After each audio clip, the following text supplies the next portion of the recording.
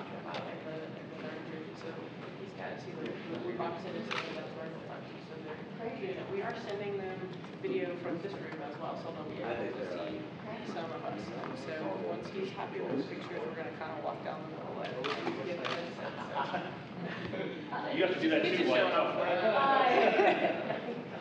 That is so much fun. Yeah, so these guys, of course, all listening to conversations all over the world, they can bring you through, um, they can talk to the flight director, so if anything happened, you know, they would kind of go into, to work mode and, you know, we would need to head out the door, typically, um, nothing like that happens, and we would start shoot through. Um, they're kind of at the end of their workday, so they're super excited, um, uh, again, blue shirt, that's always included in, so. that's all. Can they see us right now? Yeah, They can see the room, it's not super zoomed in, but Where they know is- we're in here, where so. is the camera? On which camera are we using? I'd like to That look, one? look up there. Oh, there we go. So there, oh, They should, yeah, they should be able to. Well, it might be zoomed in for us back here. Oh, when okay, they sit right. okay, well, let's flip back then.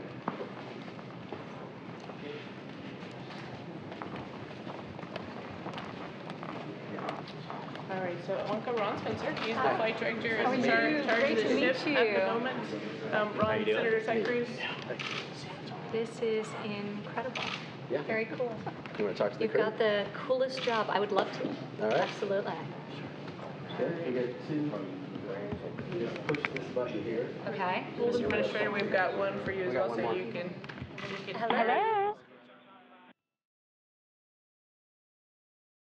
Hello, thanks for joining us on the International Space Station. Oh my goodness, this is such a pleasure. So it is an honor to meet you all. This is amazing. What an experience. Thank you very much for uh, coming out to the Johnson Space Center today and uh, looking at some of the work we're doing for human space exploration. And you're talking to us now on the only human outpost in space. I'm uh, Commander Drew Feustel. Next to me is uh, Alex Gerst, our uh, European Space Agency astronaut from Germany. He's taking over as commander in a couple of days here, about two weeks. Next to me uh, on my right is Oleg Artemyev. He is the Soyuz commander of our spacecraft that'll be heading home on October 4th. Behind me is uh, Serena Auñón-Chancellor, American astronaut, who's uh, got another five, four months to go on space station, as well as well as uh, Sergey Prokopyev, uh, commander of the other Soyuz spacecraft that will take Alex and Serena home eventually. And then in the back, we have uh, Ricky Arnold, the assistant to the commander, uh, who's uh, flying with us and returning home on October 4th as well. Amazing. October commander, but you know. October 4th. So you're coming home soon, or at least some of you are. Yeah, three of us will be coming home uh, in just a few weeks, and we've been up here for about, we'll have been up here for uh, 198 days. Just incredible. Well, obviously, one of the reasons we're here is to see the unbelievable work that's being done by NASA and by the whole organization and um, in advancement of our, our goals towards space exploration and um, ultimately the President's goals of returning humans to, to the moon. So, do you have anything you want to share with us about, about your experience at the International Space Station as astronauts? And, and then we're talking to some students a little bit later on who are interns here at the Johnson Space Center. So if you have any words of advice that I can relay to them, it would be great if you could share with us.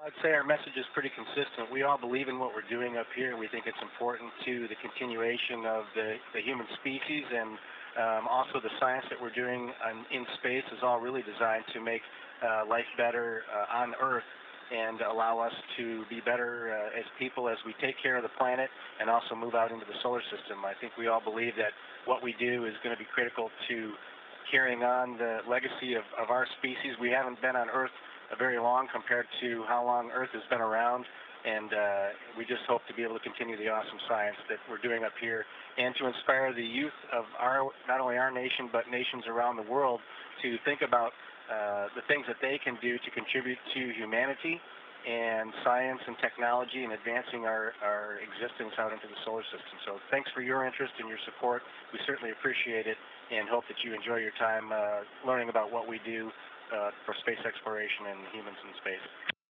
Well, thank you, and just know you can't limit it to youth because I think I can speak for all of us here to say that you inspire us all.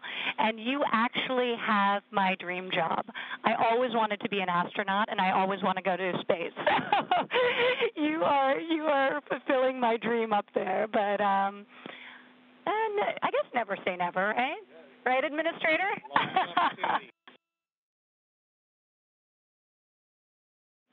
Thanks, thank you both for joining us, and uh, we hope that you're proud of the work that we're doing, and we're trying to uh, carry on the legacy that's been going on up here for the last 18 years. The International Space Station is certainly a fantastic laboratory in space, and it's an amazing collaboration, an international collaboration between our European partners and uh, our international partners, especially the, the Russians as well, that really make this uh, happen for us and allow us to have access to space right now. And we look forward to continued operations together uh, internationally and cooperatively, and we hope this serves as a great model to continue out the exploration. Thank you so much. Thank you all, and for those of you coming back to Earth, we'll we'll welcome you home in in October. And and for the rest of you, just thank you for all that you're doing. Uh, would it be possible for you guys to share how often you guys actually talk to students on the ground? Because I know Ivanka is really focused on STEM as one of her leadership roles.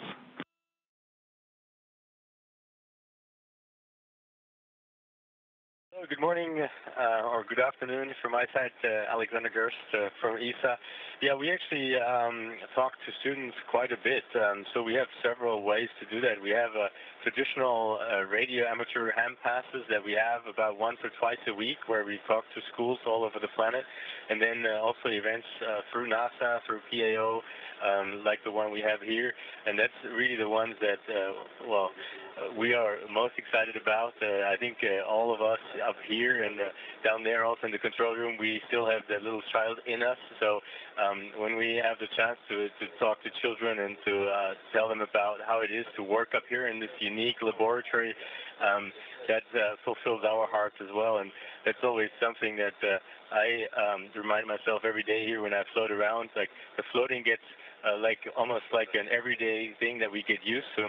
But uh, we have to remind ourselves that what we're doing up here, this laboratory, is unique on the planet. Like we have weightlessness uh, for more than just a few seconds, which is what we can generate on Earth, and that that is really only uh, possible up here on the International Space Station. No laboratory anywhere on the planet with um, no matter how much money or effort, can recreate those conditions that we have, have here.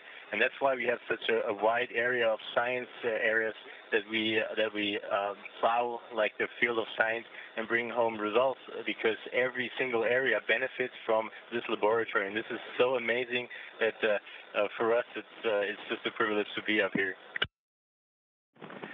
Uh, let me ask you, what is the most challenging part of living and working in space, and what is the most rewarding and valuable part of living and working in space?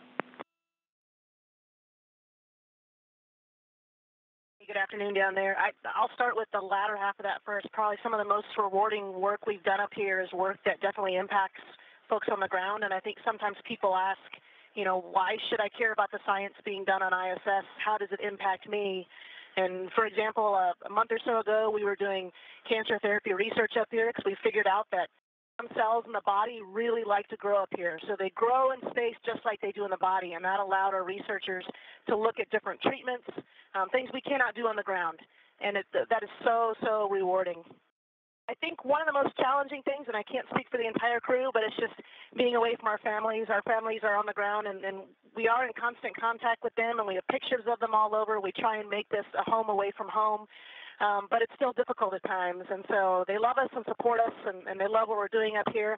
But for me, that's probably one of the most difficult parts.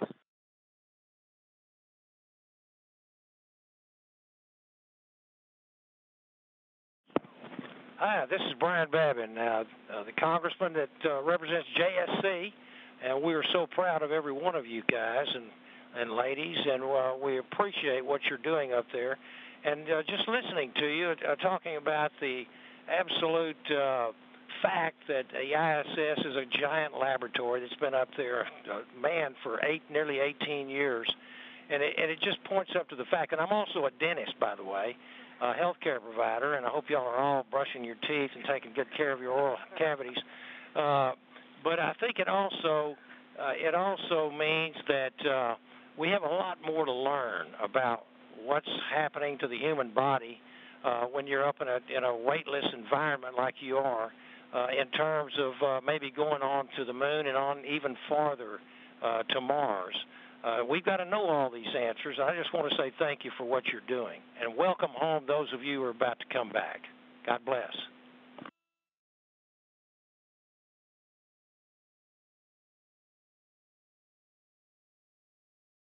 I just want to thank everybody for participating in this today. It's not every day that we have Ivanka Trump here, and it's not every day that we have, uh, no kidding, the, the, the chairman of the Space Subcommittee in the Senate and the chairman of the Space Subcommittee in the House, uh, all at Johnson at the same time to, to talk to our astronauts. So thank you so much for, for participating in this.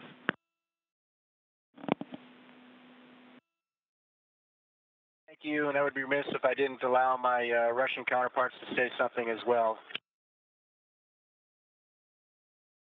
Uh, Ivanka, uh, hello from Russian segment.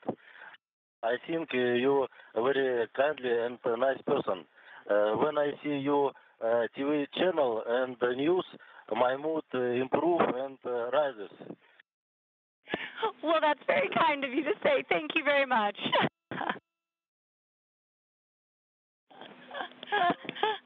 Thank you, Oleg.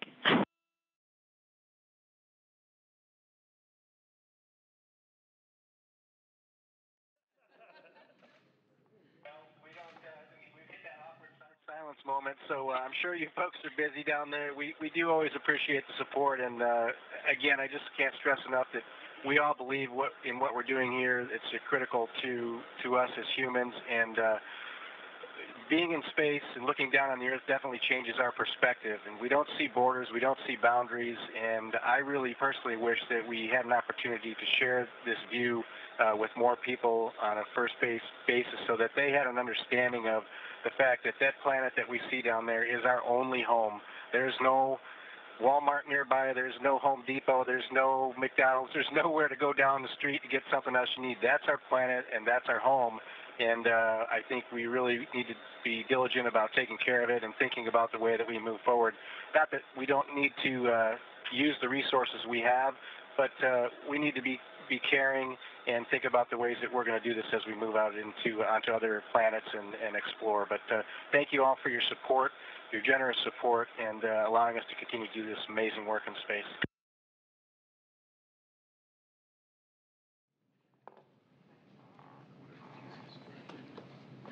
So great. Amazing. Thank you. Like us have it, but no, we're not gonna do that. So the group photo, how would you like me to Sorry to have send you, it? send you the phone bill. Please don't. It was long distance. Sorry. Thank you.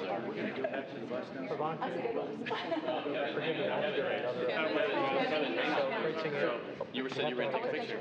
Oh, I love this. Thank you. Yeah. No, this is very cool. So the rest of us. one of my dearest friends. Yeah, we're going, you're right. We are gonna do a photo. We are, okay. Do you know her? My goodness. Yes. She's told me that. James Gifford, so incredible. So we Yeah, are. Ron, yeah, we're gonna do it, so tell them to together. No, I a feeling Texas is where. Kind of in the middle. Okay, we're gonna have the crew stay there too. Yeah. And like grabbing their stuff. All right, everyone in the flight control team, we're get he's a group photo uh, here in the middle. That's what I wanted to. So we're actually gonna do a group photo here. Okay. I lost James. Yeah. All right, you, I think you and me are here. Ron, did you tell them to get up? Yep. Okay. The entire staff that's here, we'd like All right, everyone. so Yeah, all you, all you guys up, squish. Okay. So Ms. Trump, Ms. Trump, if you would come. Gordon, what do you guys oversee? We are the power systems, the big old solar you see out there. Amazing. So So that's great. So if everyone could gather. Very cool. The solar arrays, and then they charge of batteries. So all this data. We manage it all from here. We train the crew in uh, certain failure cases to do certain things, but it's pretty much all controlled by us here. So neat. It's like the crew in James, the background. yeah, James, you need to be on the side, we're shooting that way. Okay. And If you could be right here. Okay. We're gonna gather around you. Okay. Sorry. And so we're having the, okay. We want the crew. Absolutely. So they're going to be, in right, so we're going to take our traditional, Okay. it'll work. Right here? Yeah, so it's right up in this gap right here. Come on. Oh, you guys are supposed to. Come on back, folks. I can't reach it. That's the, that's the idea. I love it. Just being quite informal. Okay, so to Yeah, everybody fine? See James. I'm gonna, you, you, you guys good? James? You got it? Like, All right. Background. Okay, and stand by. Stand by.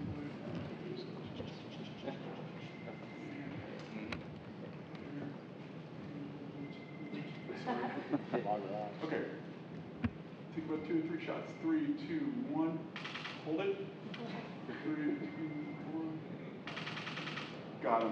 All right. One right here.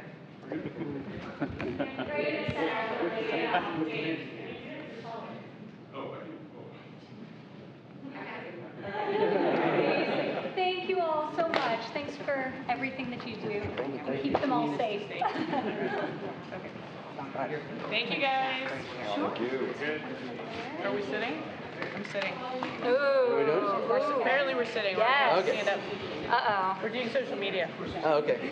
See, now Oleg's in trouble. Yes. So Ivanka's really good at it now. She did it downstairs. I was like, oh. You're gonna ask for mission control, what's going on here, and then Holly, you're gonna answer. Okay. So it'll be two separate video clips. So the first one will be you, Ivanka, asking, and then the second one, so we'll make sure that's good. and then Okay. hear yours. It's like a coffee chat in mission control. Where are we looking? So if I'm gonna shoot Yeah. back here, so we get all this. in the You guys want Okay. Yeah, so it's like, if y'all just turn around. Yeah. Let her have one if she wants one. Would you like a headset? Um, sure, yeah. Very Here, I've got mine. Very important. Sorry. We're staging. Yeah. We're staging. Chicken is mine too. What? Here, it. That's It's all right. Sorry. This one's mine. I can be authentic. So just wrap it I still have an actual